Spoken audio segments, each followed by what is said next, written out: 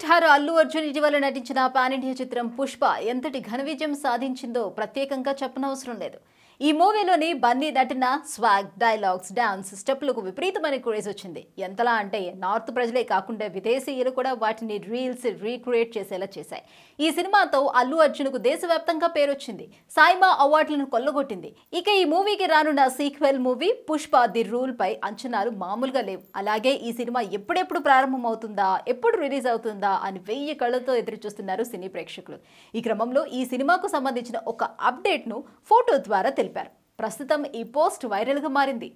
ఎక్కడ చూసినా పుష్పరాజ్ హవా కొనసాగుతుంది సౌత్ నార్త్ ఇంటర్నేషనల్ అని తేడా లేకుండా స్టైల్ స్టార్ అల్లు అర్జున్ పేరు మారుమోగిపోతుంది గతేడాది వచ్చిన పుష్ప సినిమాతో అల్లు అర్జున్కు అంతర్జాతీయ స్థాయిలో గుర్తింపు లభించింది పుష్పరాజ్ నటనకు యావత్ ప్రపంచం బ్రహ్మరథం పట్టింది ఇక ఇప్పటికే పుష్ప సినిమాకు ఫిలింఫేర్ అరవై ఏడవ అవార్డుల మహోత్సవంలో ఏకంగా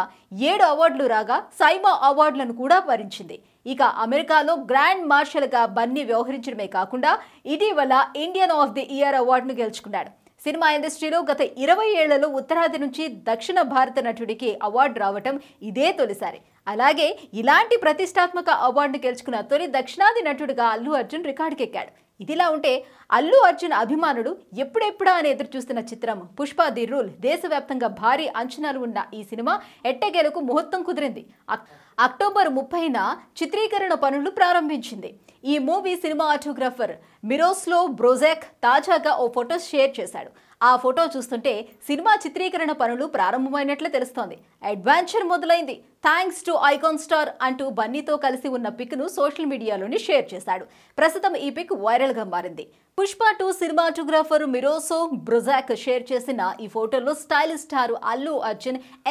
గా కనిపించాడు షార్ట్ కి రెడీగా ఉన్నట్లు బన్నీ కళ్ళు చూస్తున్నాయి అలాగే ఈ పిక్ లో బ్రొజాక్ కు సంబంధించిన ఫ్రేమ్ సెట్ చేసుకుంటున్నట్లు తెలుస్తోంది ఇక అతనికి వచ్చిన సమస్యలేంటి బన్వర్ సింగ్ షెకావత్ ఏం చేశాడు అనే తదితర ఇంట్రెస్టింగ్ పాయింట్స్ చూపించనున్నట్లు తెలుస్తోంది సో సినిమా రెగ్యులర్ షూటింగ్ ను హైదరాబాద్ లో ప్రారంభించి రెండు షెడ్యూల్స్ ని పూర్తి చేస్తారని సమాచారం అనంతరం రెండు నెలల పాటు